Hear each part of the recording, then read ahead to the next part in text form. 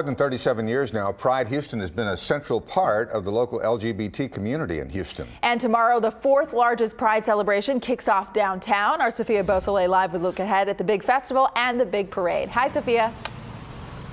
Hi, good evening. Well, you know, a lot of people from Houston and across the nation will be here to celebrate the LGBTQ community. And I want you to take a look at this. We're at the corner of Taft and Westheimer, and Pride Houston put this crosswalk up, this rainbow crosswalk up, about a week ago, just in time for all the big festivities, which will actually be happening downtown. Now, take a look at your screen. Leading the parade will be this Houston Police Squad car with these temporary rainbow decals.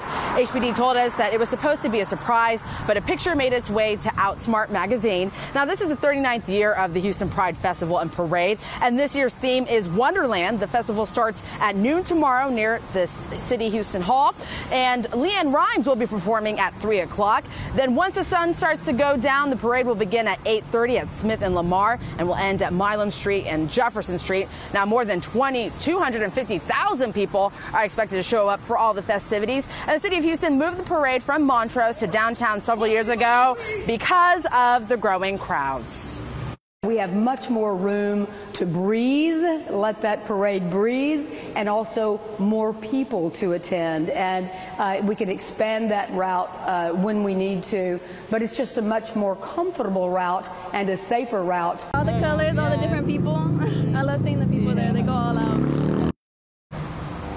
There's a lot of excitement given all the festivities this weekend. Now, the parade will end at 11 o'clock. When it comes to parking, the open garages will be there, but organizers are urging people to use either Uber, Lyft, or get a cab to go downtown. Reporting live from Montrose, Sophia Beausoleil, KPRC, Channel 2 News. All right. Hope they bring their water bottles. It's going to be a hot one. Oh, man, terribly hot. Thank you, Sophia.